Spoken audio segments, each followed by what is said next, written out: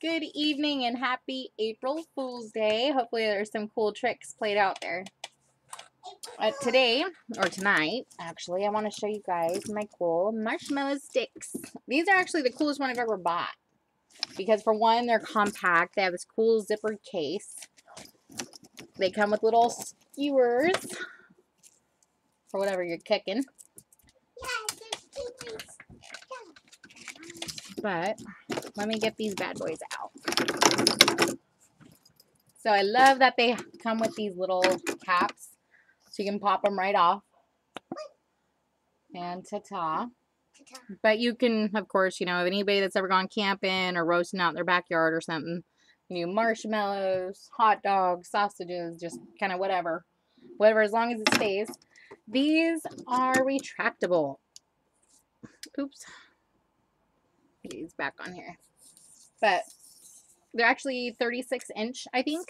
So they actually go really far. This is just showing you partially, like it just keep going.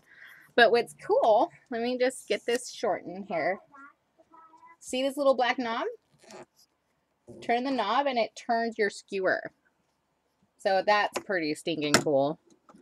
And uh, not not something that you can wash in the dishwasher. You're supposed to wash them by hand. So remember that. But I'm going to leave you guys a link. That way you guys can go look at them yourselves. I love that they come in different colors. So I've got girls and boys. So of course my little girl's going to want this purple one. Boys will like the darker ones.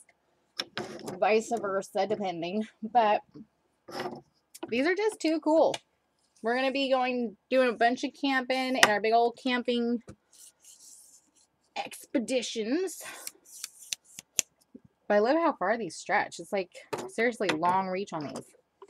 And, which I think is cool because I bought ones where they're already sized out.